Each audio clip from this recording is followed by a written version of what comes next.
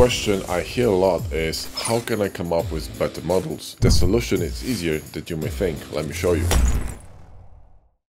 There are five stages of modeling. They're all essential and the reason why you may struggle with creating better looking models is because you either skip over or lack skills in at least one of them. These five stages of modeling are research and reference, blockout, details and textures, render and repeat. Now before we start let me tell you that the best way to get better at creating awesome models is to follow a well-structured material. You can do this very easily by joining our free Jumpstart Hard Surface for Blender course. The link is in the description. Enjoy. However, I can give you a few useful tips that should instantly improve the quality of your work. Number one, research and references. If you do not use them, you are doing it wrong. Doodling from memory is fine, but our brain is far from perfect and it also is an isolated unit. The reason why AI will always surpass human brain is because it works as a network of individual processing units or programs. They communicate with one another and fill all the gaps instantly.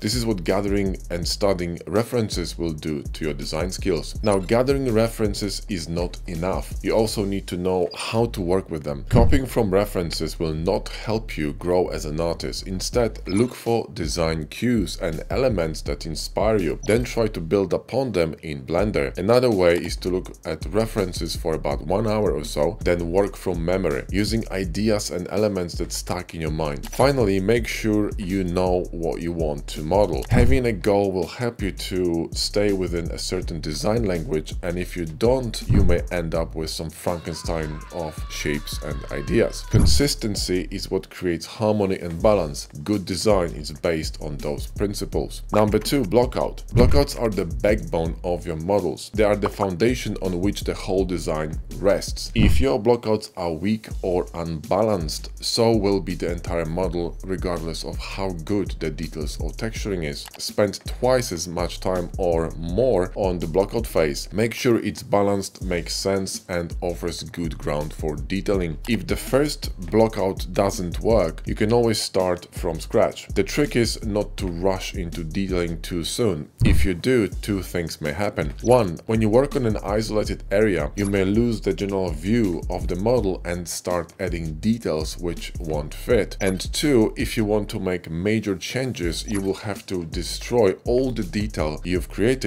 which is not really an efficient way of working. I usually create a few blockouts until I'm happy with the overall idea before even attempting mid-level detailing. Number three, details. In this stage, your blockout is complete and should guide you through the detailing phase. Details should complement the blockout and overall design language. Think of them as spices used for cooking to enhance the flavor. Too little of them and the food will be bland, and if you overdo it, then it will be inedible. Finding the golden middle is the key here here and that comes with practice. We have a fantastic course on that actually called Shape Bootcamp where we go in depth into the subject of detailing. If you're interested, I drop the link in the video description. Now there are key principles that you should follow when detailing your models. Number one, 70-30 rule, which in short means leave 70% of the space of your model detail free and detail the remaining 30%. And negative space is basically the 70% of detail free areas which allows for eyes to rest or travel between islands of detail. Then you have more advanced techniques like echoing or in other words reusing the same elements in various areas with slight alteration to shape, angle, etc. And finally texturing which should act as a bond that glues everything together. Think of texturing as dressing up. If you have a good posture, so you have a good blockout, and your fit means you have good detail, it's much easier to look good in almost any cloth, right? But remember that clothes make the man, so it does matter what you put on. The same with textures. Slapping random stuff overdoing the damaged textures etc will look just tacky.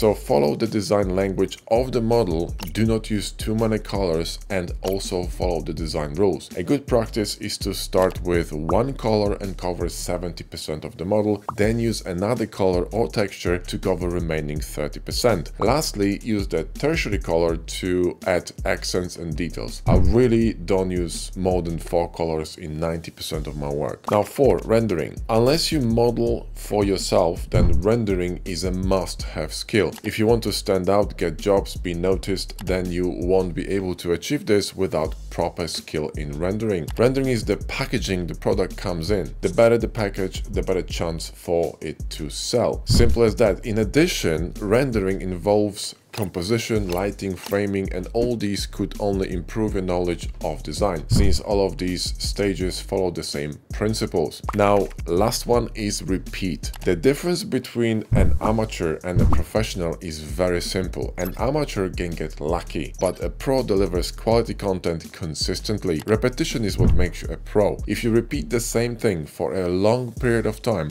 you will be very good at it. Now, by repetition, I do not mean modeling the same thing over and over over again. No, I mean staying immersed in good design language and being persistent in your studies. Without repetition, you will fail. Without persistent, you will always stay in the noob area. So research, model, render, repeat. Now, here's my tip for you on how to improve quickly. Study what you suck at. Think of what you don't like because chances are you don't like it because you don't know it. So whether it is rendering or blockouts, that is what you should focus on. The key secret of improving fast is by studying your weaknesses. It is also far easier to go from 1% to 30% rather than from 98 to 99%. You see what I mean? So you can very quickly up your game by improving your weakest areas. Now, if you're a beginner, I would highly recommend grabbing our free Jumpstart Hard Surface for Blender course, which will help you to get on the right path. It is easy to follow, fun, and it has been downloaded by over 55,000 people. The link is in the video description. Thanks for watching, and I'll see you in the next one.